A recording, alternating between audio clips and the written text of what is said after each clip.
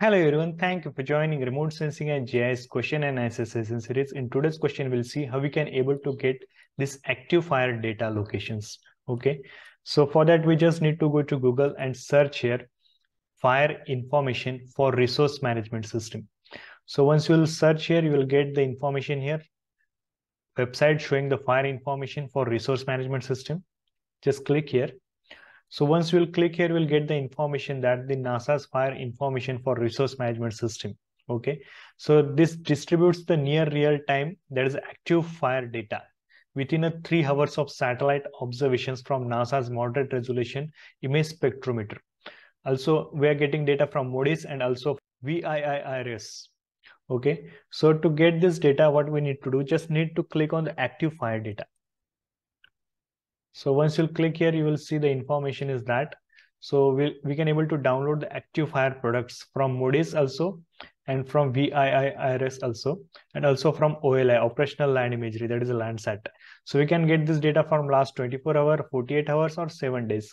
We can get in shapefile format, KML or also in text format. So just need to come down here.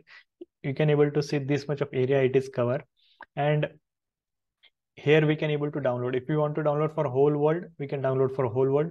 There are three format is given there. There's a shapefile also google okay google earth kml and also text file data. So suppose i want kml file so i'll select a google earth.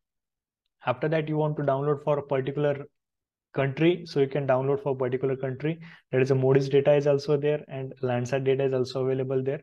So suppose like i'm interested to download from the modis data so just need to select your desired locations. Like I'm interested for the South Asia. So I'll select the last 24 hour. So after clicking here, automatically it's downloading. Okay. So just need to click on the open and you will see this way we can able to add this information. This is the last 24 hour active fire information is there. So very easily we can able to get for more information, you can visit this website and you can read the information. So if you have any doubts, you can ask me in the comment sections. Thank you.